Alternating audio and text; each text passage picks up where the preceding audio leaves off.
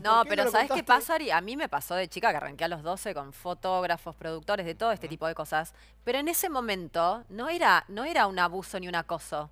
Entonces vos lo vivías Claro. como... Pero a vos te, habrá- a vos te pasó eso mil veces, Eh, imagino. Por ¿no, eso te por eso. Yo tenía la suerte yo- igual que como era tanto más chiquita, tenía siempre a mi mamá atrás, entonces siempre tenía ese La freno. barrera. Pero te quiero decir, uno no decía, uy, me acosaron. No se vivía de esa Está bien, pero forma. Nicole, Era, hoy- ¿viste? hoy- hoy- que- hoy estás hoy hablando, una está bien, pero vos qué vas a volver sobre cosas que te No, pero te hace pregunto, 20 hoy una mujer adulta que sos y con la espalda que tenés y con tu nombre que es, No, o sea, sí. es Nicole Leoma, no te mueve ni el hura- ningún huracán. Digo, vale. decís, che, ¿en esta, esta situación estuvo mal? ¿Te pasa de ver para atrás?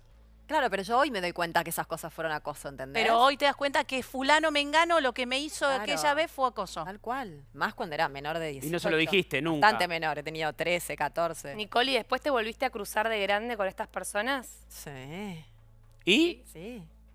Y nada, ya, ya está. ¿Y la 18 conducta de ellos cómo como- fue? ¿La conducta fue también Igual que? Paula, No hay cambió porque ya sos Nicole. No hay registro. Ya era Nicola a los 12. No, pero ahora digamos... Pero sos- hoy se habla, ¿entendés? Hoy, hoy es otra cosa. Se habla, sabemos de qué hablamos, tiene un título. Sí, En igual momento no. yo Hoy creo- es un delito, Nikita. Claro, Esta es la diferencia. Exacto. Hoy es un delito Pero que no tiene tenía un respaldo muy fuerte además a nivel sociedad. O sea, hoy lo que cual. cambió es cultural. Entonces se instaló la conciencia social de que eso está mal. Exacto. Tal vez ese fotógrafo con este productor, ese fotógrafo no permite que este productor lo haga hoy.